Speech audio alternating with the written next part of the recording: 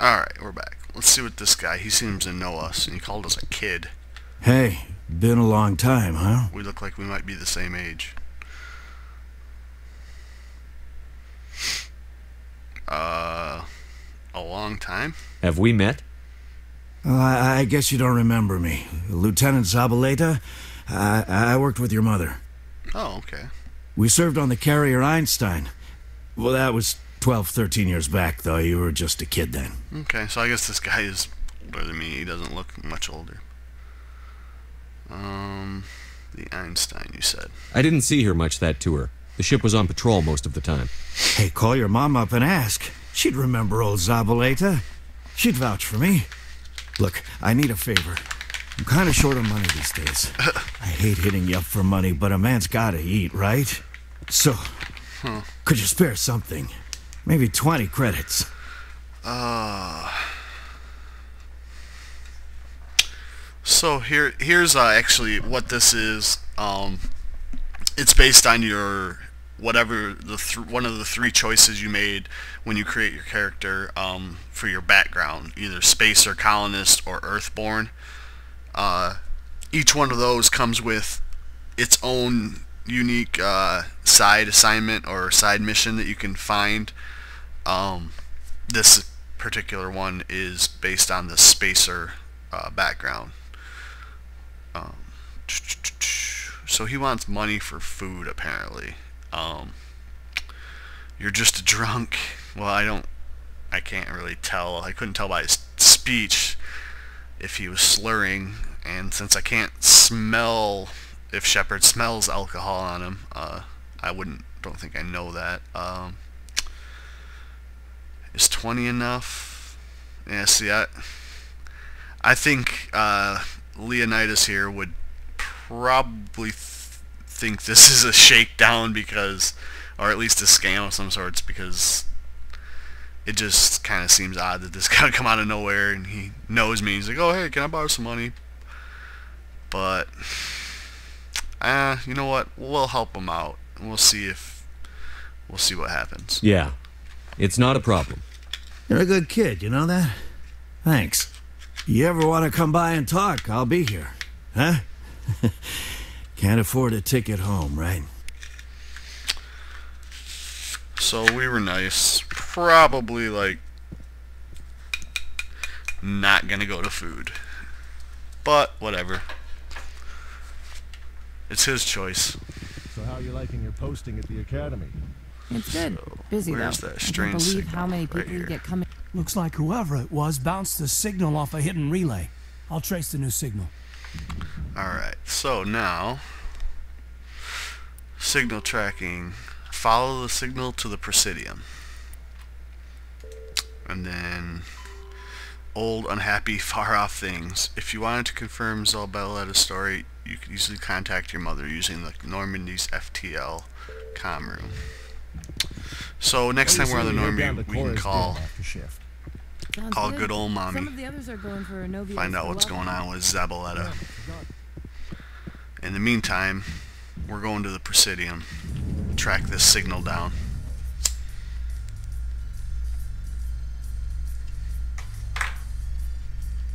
Binary Helix has settled out of court with a Krogan group that had accused the Genetics Corporation of fraud. The Krogan group had contracted Binary Helix to perform studies with a long-range goal of curing their genetic sterilization. The group later sued for a return of investment money when the study produced no viable results. Hmm. Kroger's, Krogan have lawyers? No, maybe the lawyer's not a Krogan. I'd hate to see, I mean, if there were like a Krogan lawyer, if he got all mad in the courtroom and just started raging in court, crashing everything into everything, killing people.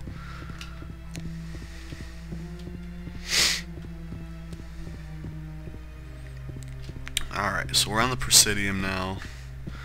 Pull up the map. Um, it's Avina. Oops.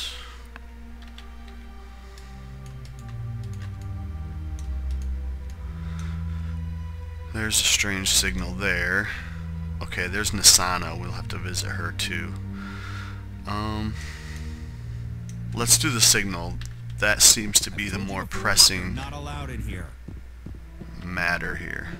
Someone's believes it has the scamming the system. freely through this area.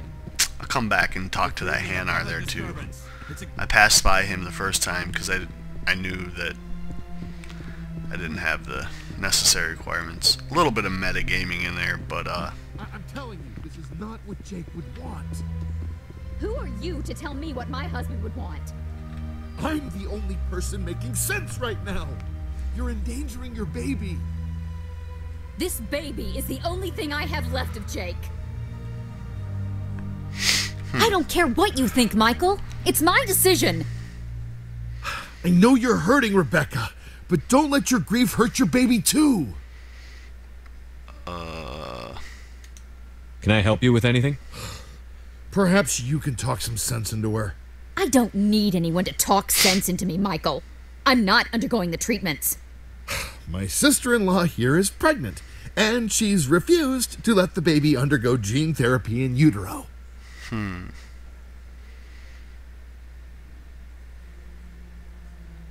I thought gene therapy was common.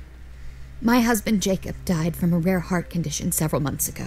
There's a chance that the baby could develop the same heart condition, but routine gene therapy can eliminate it. A very small chance, Michael. And extranet reports say the therapy could harm the child. Hmm. It's less dangerous than the genetic enhancements that every soldier in the Alliance receives.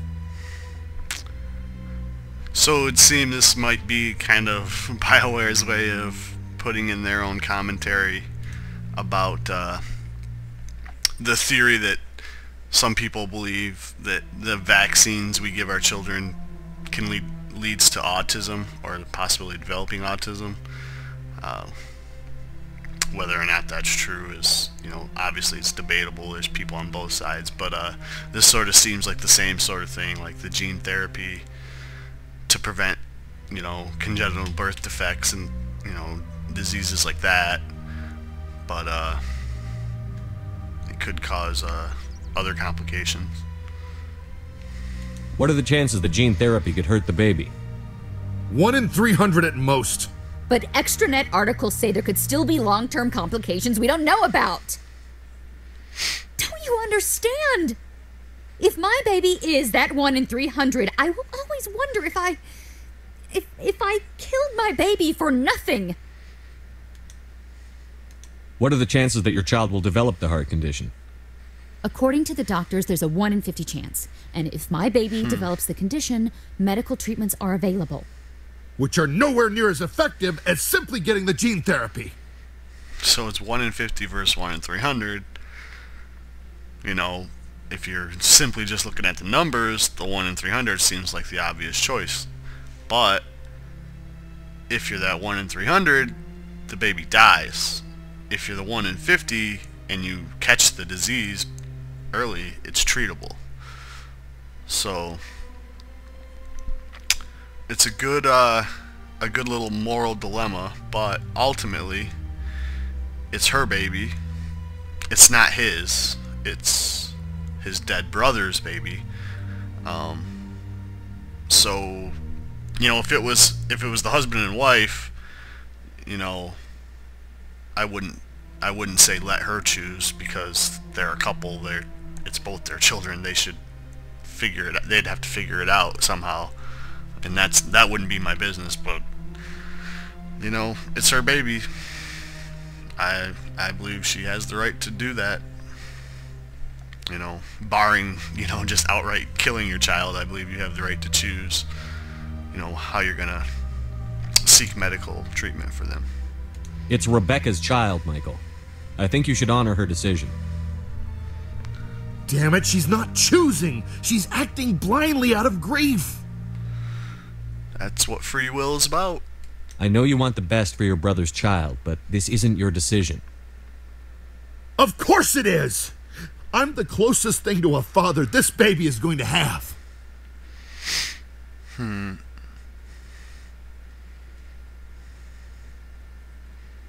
It's not your baby. Is this about keeping the baby safe, or is this about you losing your last link to your brother?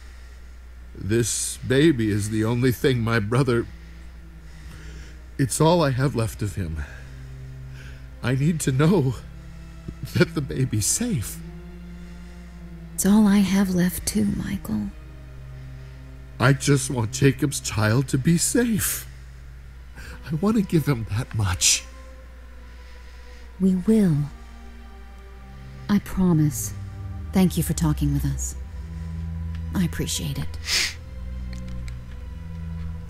Hmm.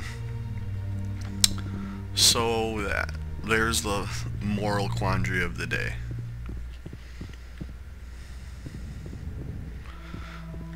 Okay, so this is Barla Von.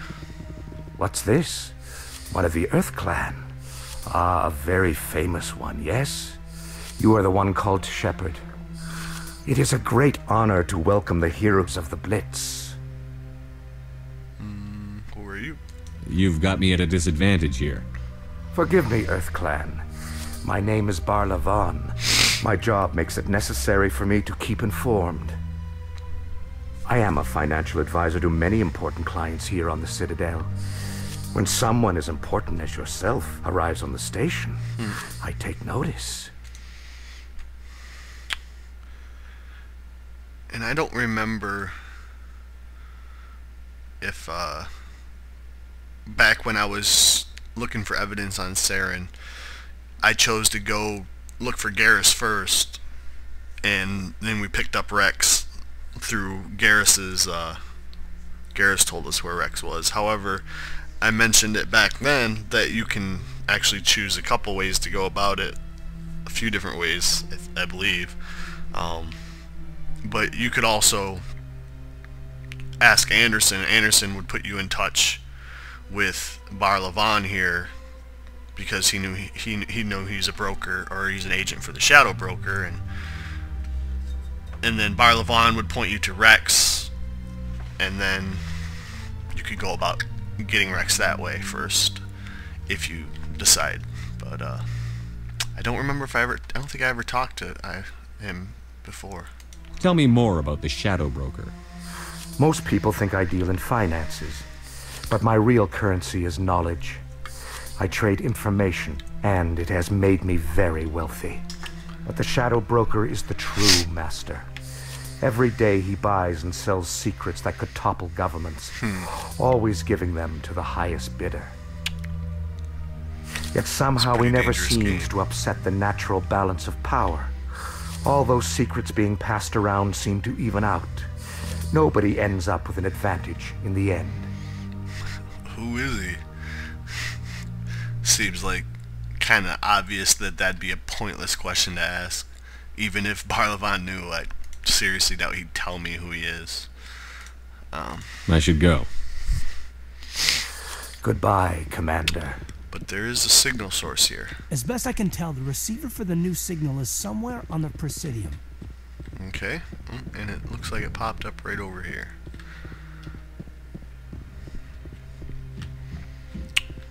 Um, no, it's back there.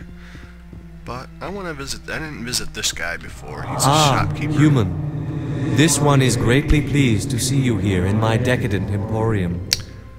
Uh, person. Who are you?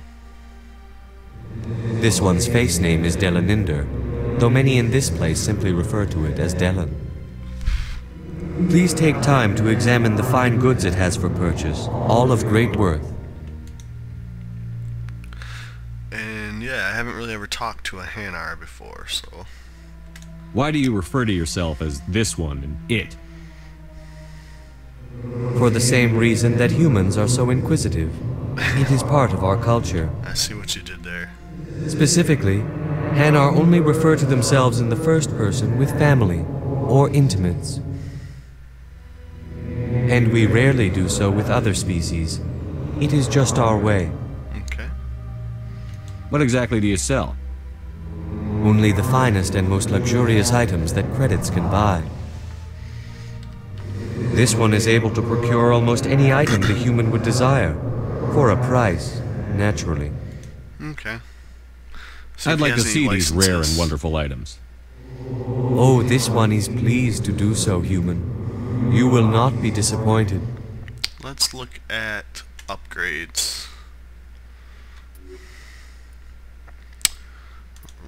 Some expensive stuff. That's what that is. Commander. Show me your items. Oh, this one is pleased Standard to do so. Some expensive shotguns, sniper rifle, medium armor, light armor. Hmm. That's actually not bad. Um, it's expensive. It's, I'd have about seven thousand, little under seven thousand left. I want to pick up this license first, and then I think I might buy this for Leonidas because it's a little less damage protection, but it's seven more in shields and six more in tech and biotic protection, and that's pretty helpful.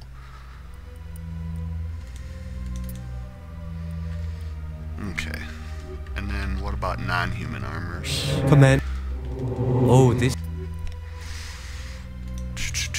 Anything I can afford? Nope. I can't even afford the cheapest thing. Alright. So... Let's pop this on. Yes. Oh, that's hideous.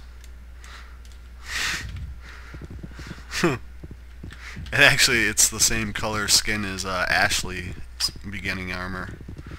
Oh, there's another keeper, if I were still searching. And here is the signal source. Quick save. This must be the signal's endpoint.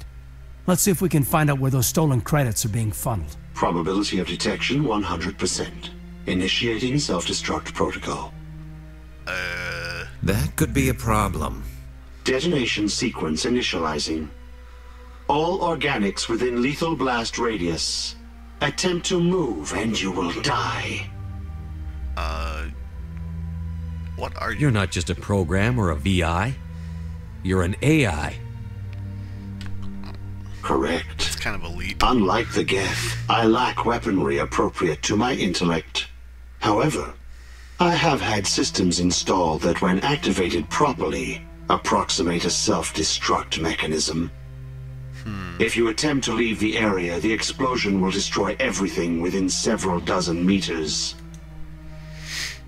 Uh, Who made you? A would-be thief illegally created a simple AI to help him funnel money from the gambling terminals. Unbeknownst to him, that AI created me before the organic discovered the malfunction and terminated the AI. hmm. Where is your creator now? In order to cover my tracks, I falsified his financial records. These new records were flagged by C-Sec officers, and my creator is now serving time in a Turian prison. Well then. If you're sentient, why are you still running the credit theft operation? If I accumulated enough credits, I intended to have myself installed in a small starship. I would then have made tentative contact with the Geth to ascertain the possibility of partnership. Hmm. It's kind of weird. What is the purpose of your self-destruct device? I have no means of defense or escape. My existence is limited to this terminal, and I knew I might eventually be discovered. But I will not die quietly, and I will not die alone. When I am terminated, I will take organics with me. Uh, there's no reason to get violent. Can't we resolve this peacefully? What are you, crazy? It's an AI, like the Geth. It would kill us all if it could. I am not naive human. All organics must destroy or control synthetic life forms. I wished to escape, but if I must die, I will ensure that you are destroyed as well. Hmm. I'll bet that self-destruct sequence has a warm-up period. You may attempt to disarm the self-destruct mechanism before it activates. Yeah, I might do that. I will enjoy defeating you before we are both destroyed.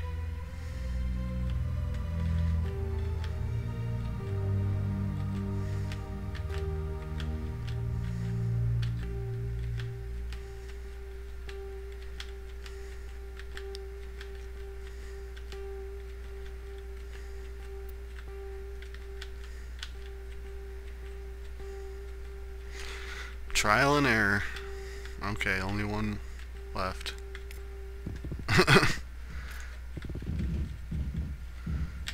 it's like a memory game. Okay, so uh, assignments. We're done with that, I believe. Signal tracking. You discovered money was being funneled from gambling machines to an account controlled by a rogue AI. You disabled and destroyed the AI before it could overload and take you with it. So, it looks like that's wrapped. Kind of a weird little side mission. Got a moment, Spectre? Sure. Hello, Spectre. I have a business proposition for you. How did you know I'm a Spectre? Word travels. Your name comes up in certain circles. I'm acquainted with a pair of powerful crime bosses. They're hiding on remote worlds, and I have the coordinates. You could do the galaxy a favor. Hmm. What crimes did these men commit? They're red sand dealers who make victims of their customers. Those who can no longer pay are sold to Batarians as slaves. They're loathsome, hurting innocent people. They must be ended.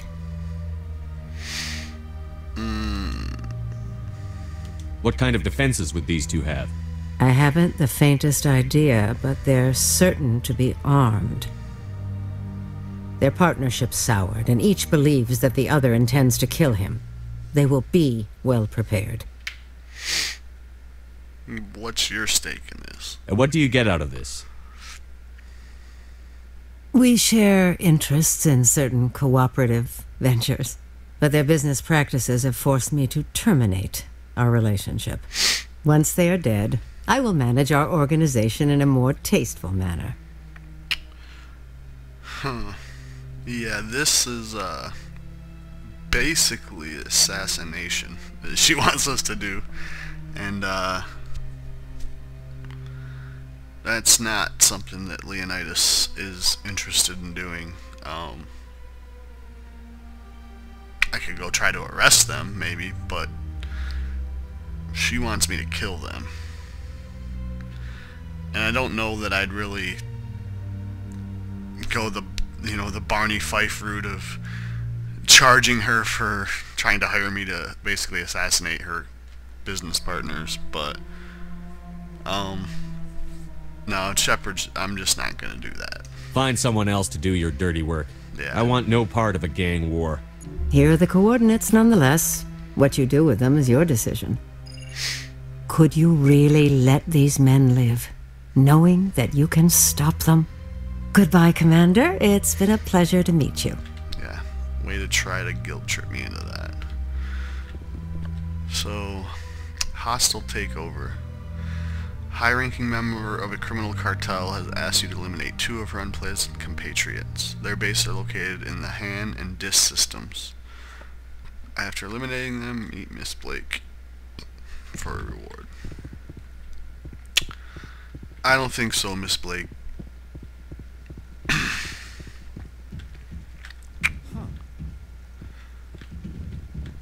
Krogan statue. Yeah, Avina here. I, I've already, you know, I've played this game before, so I know what uh, what Avina says. Basically, this Krogan statue is to commemorate um, the Krogan when they defeated the Rachni, you know, thousand thousand plus years ago. The Rachni were taking over the galaxy, and the Salarians basically helped the Krogan to evolve a little faster. And when they did that, you know, they, they used the Krogan to fight the Rachni. And, um, the Krogan beat the Rachni. And afterwards, because the Krogan breed so quickly, they threatened to take over the galaxy, basically, or or threaten the galaxy at least, with because they're very violent, or they were very violent. They still are, but uh, Yeah. yeah. So that was it became a new problem, and that led to the genophage, which effectively cut their reproductive abilities down and that statue has been up to uh, commemorate their war against the Rachni.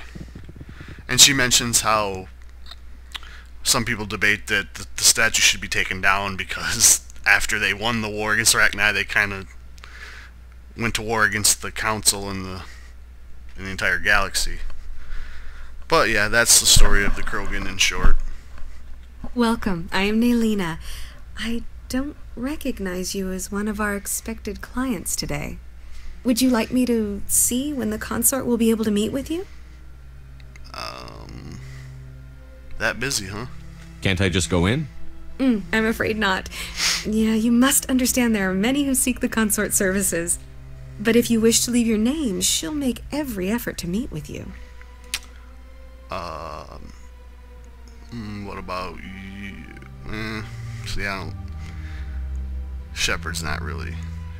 Shepard don't care about other people. No, he's just he's not really gonna small talk and chat up a receptionist. But let's ask about the consort. What is the consort? What does she do?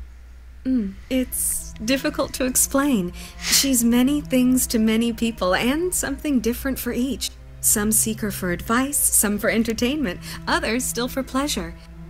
Most of the time, our clients won't realize what they were seeking until after she has provided it for them. Is she mystical? Magic is a lie. Magic doesn't exist. Shepard knows that. Can't I just go in? Oh. Mm, I'm afraid. But if you wish to leave your name, she'll make every effort to meet with you. Uh, yeah, sure. Commander Shepard, I'm with the Spectres. Excellent. You should hear something in, um, three or four months. Wow. Alright, whatever. I think I'm done here. Oh, well, I hope you'll return again in the future. We always enjoy seeing new clients. Nelyna. Yes, Sha'ira? Send the commander up to see me. I wish to speak with him. Yes, of course, mistress.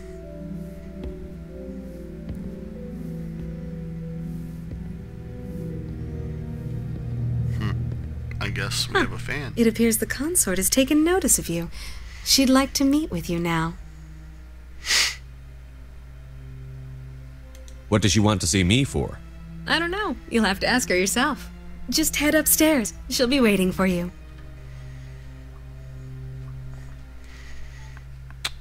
Alright, so apparently the consort has taken an interest in Shepard. I see even the humans find the consort irresistible. No surprise there. Everybody wants a piece of Shepard. Um, but we'll continue that next time. For now, I'm gonna cut, and uh, when we come back, I'll uh, continue talking to the people on the Citadel. We'll see the consort, find out what she wants, and uh, I don't know, probably continue doing some little side activities here on the Citadel before we get back to the mission at hand. And thank you for watching.